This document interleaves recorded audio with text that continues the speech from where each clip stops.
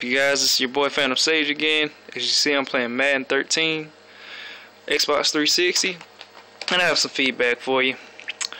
Like a lot of other users, I have some issues with this game, and I'm about to show you what one of those issues are. Okay? So check it out, you guys. It's the end of the game. I'm ahead, four seconds left. Might as well go for some a hail mary of some sort, right? Get some extra points. Drop back. Looking, looking Oh, I got a receiver open. Steve Smith down the field, wide open. So check this out. Now, I want you to look at this. You see where that ball went? Real life, Steve Smith would have jumped for that.